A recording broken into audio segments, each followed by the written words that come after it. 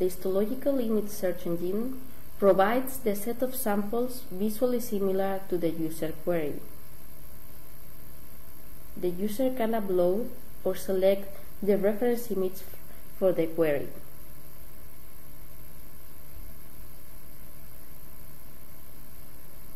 The image is directly dragged into the search module and the image search engine provides the result of the query.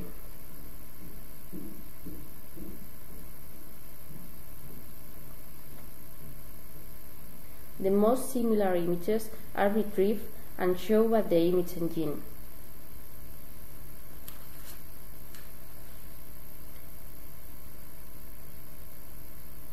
The user can make zoom into the images and navigate inside the search. By clicking on an image, he can also open the image on a separate window.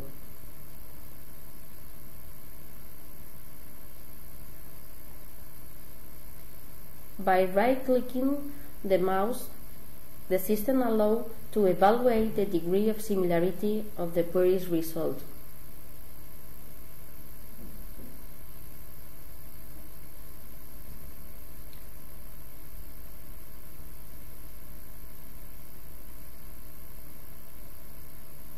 The search engine allows both a quick and a detailed inspection of the results.